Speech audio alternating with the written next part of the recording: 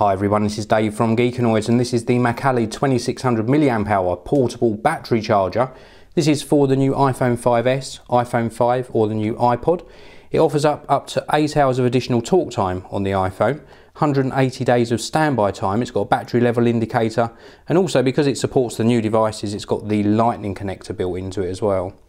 Around the back of the packaging, we've just got some extra details about the device itself. But let's get this unboxed and show you it. Now, I find these devices extremely useful. There's nothing worse than being out and about and running out of battery power. So I just find these very, very useful indeed. Now inside the packaging we have got a little sheet here and this just, just gives you instructions about the device, how to get it up and running, what all the ports are for, etc. and some of the specifications. And then inside the packaging, very, very simple. We've got a little charging cable, full size USB to micro USB. This is used to charge the internal battery. And then we've got the charger itself. Very, very nicely designed. As you can see, it's a nice white color, matches the sort of design of a lot of Apple products. Looks really, really cool. We've got a couple of little features on here. We've got five LEDs across the front and these indicate the level of charge left inside the battery. We've also got a multifunction button on the side here. Now if we just tap the button, we can see four LEDs light up and this means we've got roughly between 61 and 80% charge left inside the little tiny battery. And then on this end, we have got the micro USB charging socket.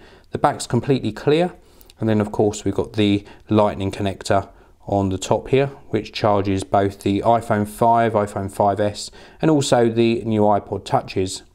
Now I said this is a multi-function button. So what we do to actually use the device is we plug it in like so, and you can see nothing's happening, it's not charging. We need to hold this multi-function button in for roughly about two seconds. And then that initiates charging. So we are now charging our iPhone 5S.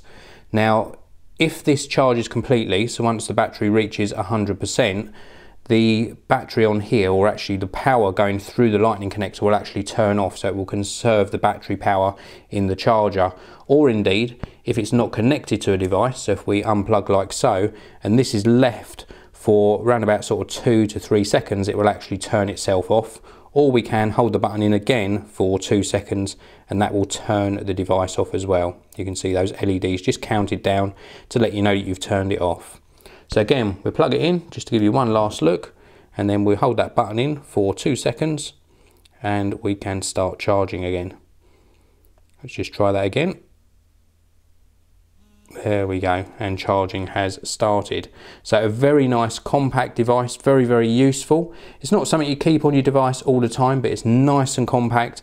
Means you can put it in your travel bag or in your pocket, carry it around with you, and you'll know you're never gonna run out of power when you're using your device.